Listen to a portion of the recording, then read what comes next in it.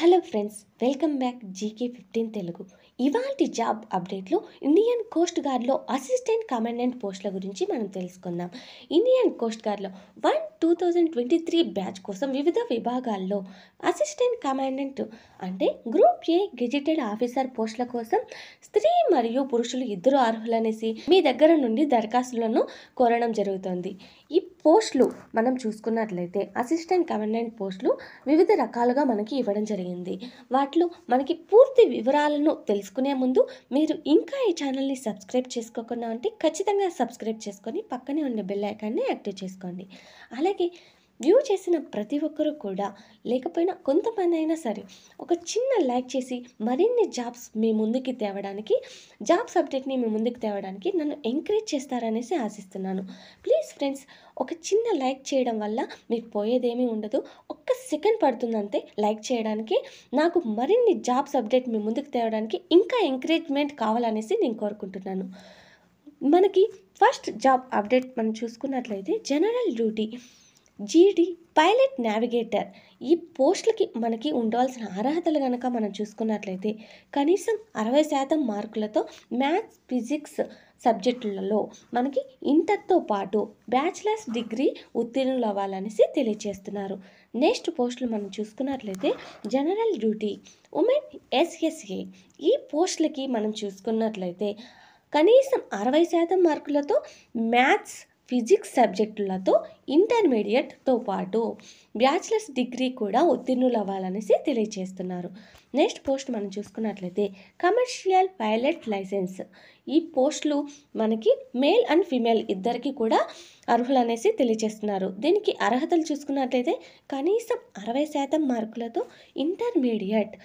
Intermediate అనేది physics maths సబ్జెక్టులతో pass అవ్వాలనేసి. అలాగే డీజీసీఏ జారీ చేసిన వ్యాలిడ్ కమర్షియల్ పైలట్ లైసెన్స్ ఉండాలనేసి కూడా తెలియజేస్తున్నారు. ఈ అర్హతలు మీ దగ్గర ఉన్నట్లయితే ఈ పోస్ట్ని మీరు అప్లై చేసుకోవచ్చు. నెక్స్ట్ పోస్టులు మనం చూసుకున్నట్లయితే టెక్నికల్ మెకానికల్ పోస్టులకి మేల్ పర్సన్స్ మాత్రమే అర్హులు అనేసి దీనికి అర్హతలు చూసుకున్నట్లయితే కనీసం అరవై శాతం మార్కులతో సంబంధిత సబ్జెక్టుల్లో ఇంజనీరింగ్ డిగ్రీ ఉత్తీర్ణులు అవ్వాలనేసి తెలియజేస్తున్నారు. నెక్స్ట్ పోస్ట్ కనుక మనం చూసుకున్నట్లయితే టెక్నికల్ ఎలక్ట్రికల్ ఎలక్ట్రానిక్స్ ఈ పోస్ట్కి మెయిల్ పర్సన్స్ అర్హులనేసి అర్హతలు కనుక చూసుకున్నట్లయితే కనీసం అరవై శాతం మార్కులతో సంబంధిత సబ్జెక్టుల్లో ఇంజనీరింగ్ డిగ్రీ అనేది ఉత్తీర్ణులు అవ్వాలనేసి తెలియజేస్తున్నారు. ఈ పోస్టులకి మీరు అప్లై చేసుకోవడానికి ఎంపిక విధానం ఎలా ఉంటుందో చూద్దాం. స్క్రీనింగ్ టెస్ట్ ప్రిలిమినరీ పరీక్ష ఫైనల్ ఎగ్జామ్ మెడికల్ టెస్ట్ ఆధారంగా మిమ్మల్ని ఎంపిక అనేది చేయడం జరుగుతుంది. ఈ ప్రిలిమినరీ పరీక్ష గురించి ఇప్పుడు తెలుసుకుందాం.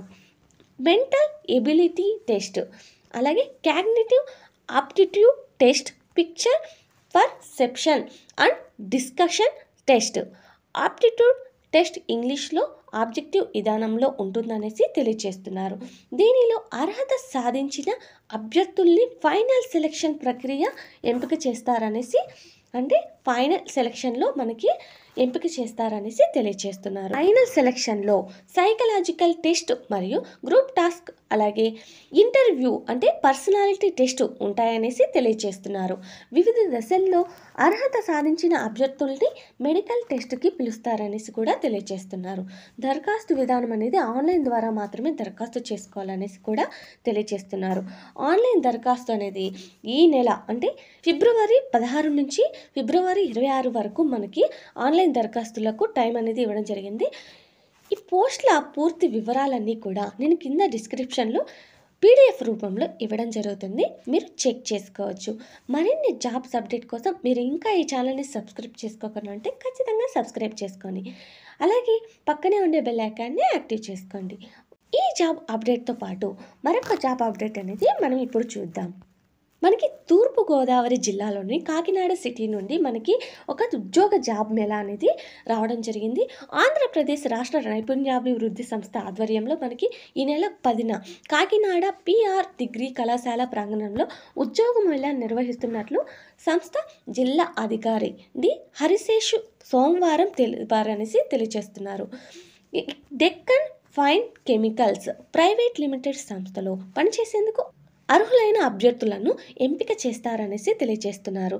దీనికి మనకి డిప్లొమా బీఎస్సీ కెమిస్ట్రీ అలాగే BZC B pharmacy and D ఫార్మసీల్లో ఉత్తీర్ణులైన వాళ్ళు అర్హులనేసి తెలియజేస్తున్నారు అలాగే తునిలో పని చేయాల్సి ఉంటుందన్నారు. రెండు వందల మందిని ఎంపిక చేస్తారనేసి ఎంపికైన అభ్యర్థులకు మనకి మంత్లీ అనేది nineteen thousand four hundred seventy seven rupees అనేది ఇవ్వడం జరుగుతుందనేసి తెలియజేస్తున్నారు ఆసక్తి గల అభ్యర్థులు బయోడేటా అలాగే Aadhaar ID and address proof passport size photograph అలాగే విద్యార్హత సర్టిఫికేట్లతో హాజరు కావాలనేసి తెలియజేస్తున్నారు. ఇక్కడ హరిశేషు గారు ఈ విధంగా తెలియజేయడం జరిగింది. ఈ ఉద్యోగం ఎలా అనేది ఎక్కడ జరుగుతుందంటే కాకినాడ పిఆర్ డిగ్రీ కళాశాల ప్రాంగణంలో మనకి ఈ జాబ్ మేళా అనేది నిర్వహించడం జరుగుతుంది. మీరు ఈ నెల పదో తేదీన మీరు ఈ జాబ్ మేళాకి అటెండ్ అనేది అవ్వాలనేసి తెలియజేస్తున్నారు. నెక్స్ట్ జాబ్ అప్డేట్ మనం చూసుకున్నట్లయితే మనకి శ్రీకాకుళంలో కూడా ఈ నెల తొమ్మిదో తేదీన జాబ్ మేళా అనేది నిర్వహించడం జరుగుతోంది. శ్రీకాకుళం న్యూ కాలనీలో ర్యాంకీ ఫౌండేషన్ కంపెనీ విశాఖపట్నం ఆధ్వర్యంలో ఈ నెల తొమ్మిదిన శ్రీకాకుళంలో జాబ్ మేళా నిర్వహించుతున్నట్లు జిల్లా ఉపాధి అధికారి జి శ్రీనివాసరావు గారు పేర్కొనడం జరిగింది. ఈ మేరకు సోమవారం ఆయన ఒక ప్రకటనలో విడుదల చేశారనేసి రాంకీ ఫౌండేషన్ కంపెనీ విశాఖపట్నంలో మనకి అరవై కెమిస్ట్ పోస్టులు అలాగే అరవై ఫిట్టర్ పోస్టులు అది చేయనున్నట్లు తెలపడం జరిగింది. కెమిస్ట్ పోషణకు మనకి బీఎస్సీ ఎంఎస్సి విద్యార్హత ఉండాలనేసి అలాగే ఫిట్టర్ పోషణకు ఐటీఐ ఫిట్టర్ విద్యార్హత కలిగి ఉండాలనేసి తెలిపారు. రెండు పోస్టులకు కూడా పద్దెనిమిది నుంచి ముప్పై ఐదు ఏళ్ళ మధ్య వయసు కలిగి ఉండాలన్నారు.